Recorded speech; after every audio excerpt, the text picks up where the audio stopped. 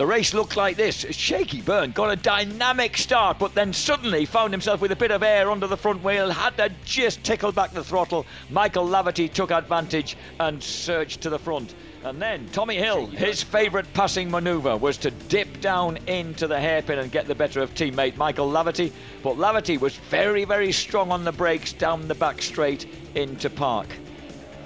And that's where he retaliated to retake the lead. And then, whenever Tommy tried it after that, Michael would just dip back underneath and say thank you very much and retake the lead into barn.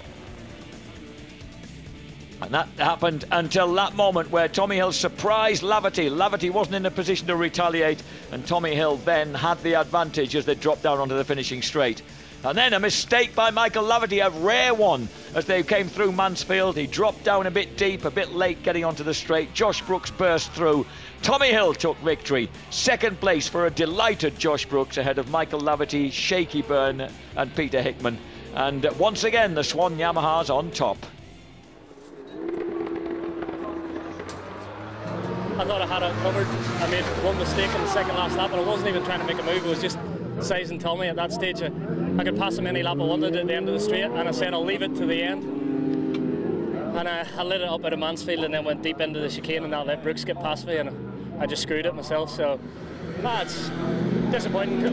I, I, I had the pace, but I couldn't run my own race. I was being so protective because I knew Tommy was right on me. And then when he came past, I just sized it up for the. I was sizing up for the last lap, but I made, made a mistake. So, yeah, we're strong. We'll be there for the for the championship in the next three rounds of the showdown.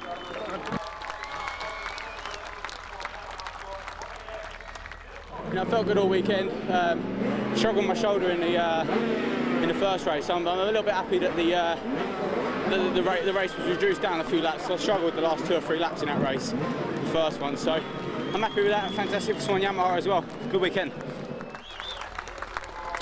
I mean, ride like that, you'll win the championship.